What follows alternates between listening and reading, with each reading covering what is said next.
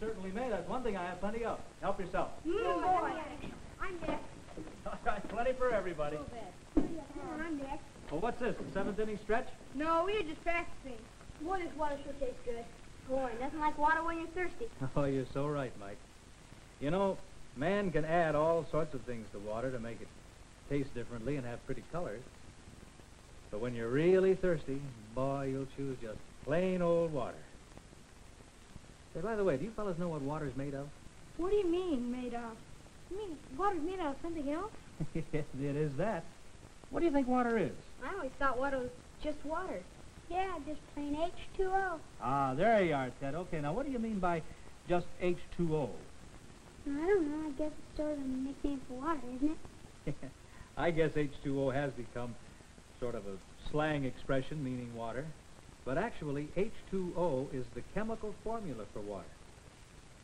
But why do we use the letters H and O with a little 2 in the middle? I don't know. Tell us, Uncle Bob. All right, I will. Come on into my lab for a few seconds, and we'll do some detective work and solve the mystery of why we call this H2O. I'm going to need a fresh supply of Exhibit A. Go ahead in, fellas. All right, now you fellas just gather around the bench here while I go back and get the electrolysis equipment. The what? Electrolysis equipment, Ted. That's what we call this glass apparatus that we're going to use to perform the experiment. Now, I'll need some power. Bobby, in over by the radios on the back shelf, you'll find a Super B battery. It has some leads attached to the top terminals. Would you get it for me, please? Yes, sir. Now, I'll add some more water.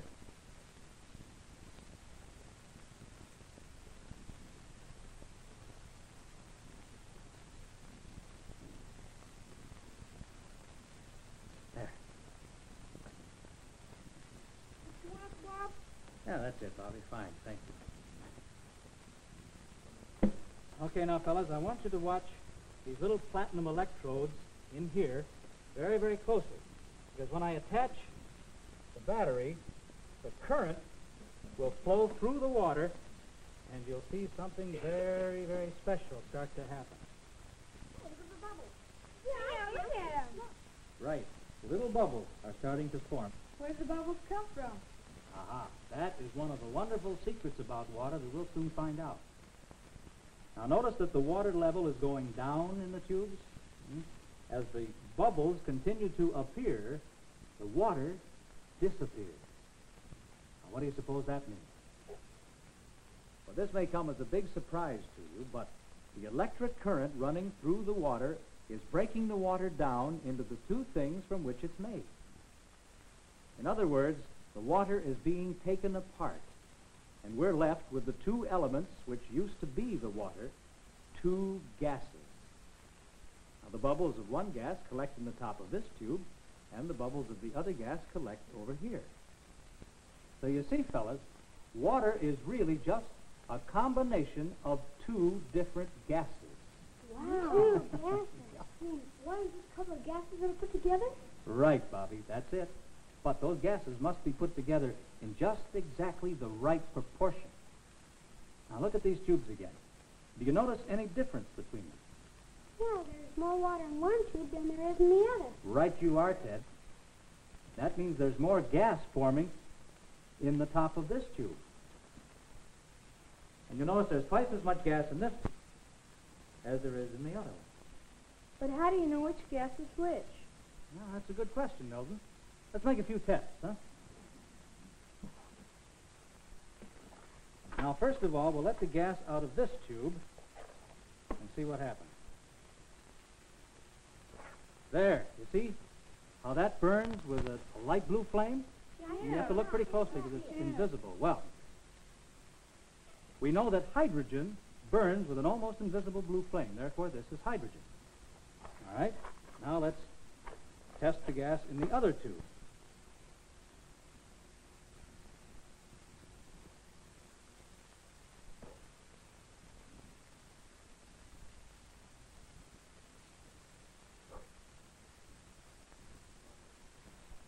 There. You see how that spark on the end of this piece of wood burst into flame and burns very fast? Yeah, Uh-huh. yeah. That's because that spark has come in contact with oxygen. Now, oxygen itself doesn't burn.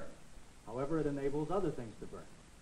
So, by this experiment, we know that water is made up of two gases, hydrogen and oxygen.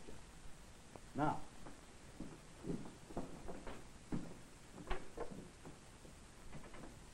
chemical symbol for hydrogen is the letter H.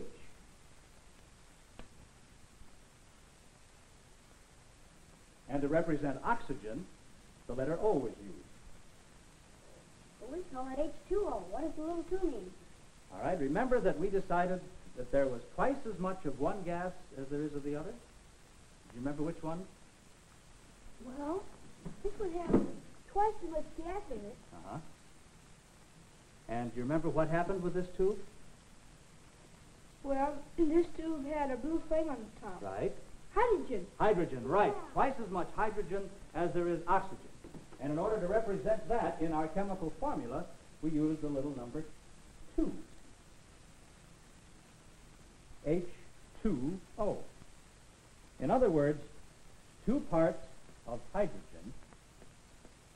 combining with one part of oxygen makes up the wonderful substance we know as water. How about that? We use water to put out fire, but it's made from two gases which burn like crazy. well, almost, Mike. Remember that oxygen just helps other things burn. No, water is a very remarkable liquid. All life depends on it. And you know, water is a wonderful example of the Creator's great wisdom and careful planning. And the ways in which our water supplies are regulated and maintained is another remarkable story. You see, about three-fourths of the entire surface of the earth is covered with water. The rivers and the lakes and the oceans and the streams. But as you know, the snowflakes and the raindrops that are formed in the clouds above the earth are formed from water that is in the air. Rising from the surface of the oceans and lakes and rivers and streams are tiny particles of water, which usually are so small that you can't see them. Water in this form is called vapor. And the process by which water changes from a liquid to vapor is known as evaporation. Sometimes, however, this water in the air can be seen. And these particles are now droplets of mist. But whether you can see it or not, there is always water in the air. And under the right conditions, the water vapor will turn into a liquid. You can see evidence of this on a blade of grass or the petals of a flower. It all depends on the temperature and the amount of water in the air. The process of changing vapor to liquid is called condensation. The same thing is happening up in the sky when the clouds form. As the warm, moist air rises, it begins to cool, and the water vapor in the air condenses into little drops of water.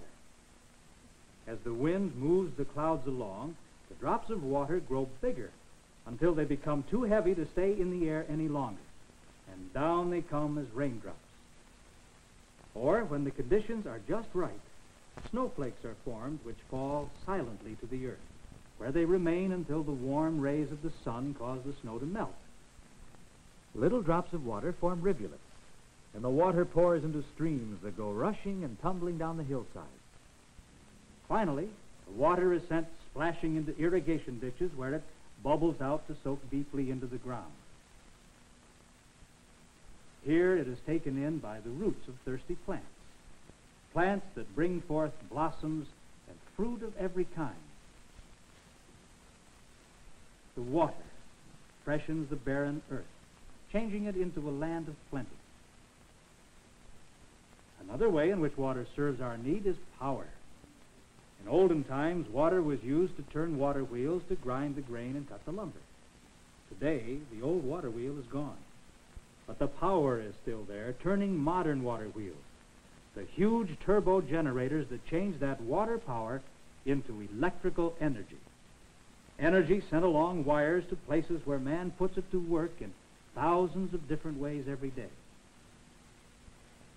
And when the day is over, the power from the water lights our homes and our cities. You know, I never thought about water that way before. Neither did I. I just drank it and forgot it.